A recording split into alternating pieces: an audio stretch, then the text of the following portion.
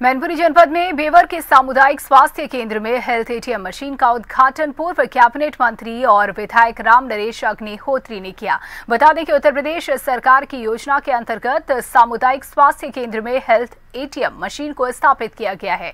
इस दौरान विधायक ने कहा कि सरकार ने स्वास्थ्य विभाग का बहुत सी सौगातें दी हैं और इसी के चलते उन्होंने अपनी निधि से हेल्थ एटीएम लगवाया है। साथ ही उन्होंने कहा कि गरीब मजदूर लोगों के लिए आयुष्मान कार्ड बनने से पाँच लाख तक का इलाज मुफ़्त किया जा रहा है।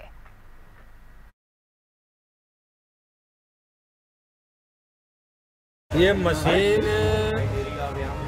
मेरी विधायक निधि से लगाई गई है। जी। इसको कहते हैं हेल्थ एटीएम जैसे एटीएम में से पैसा निकलता है ऐसे इसी इस मशीन में से बीमारियों का ब्यौरा निकलेगा। जी।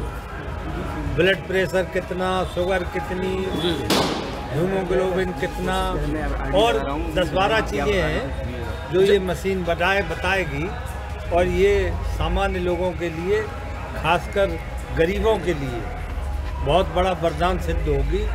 उन्हें न किसी डॉक्टर की ज़रूरत है न किसी हॉस्पिटल में जाने की ज़रूरत है। यहाँ वो मशीन पर खड़े होंगे और उनके रिजल्ट्स अपने आप निकल के आएँगे जिससे उन्हें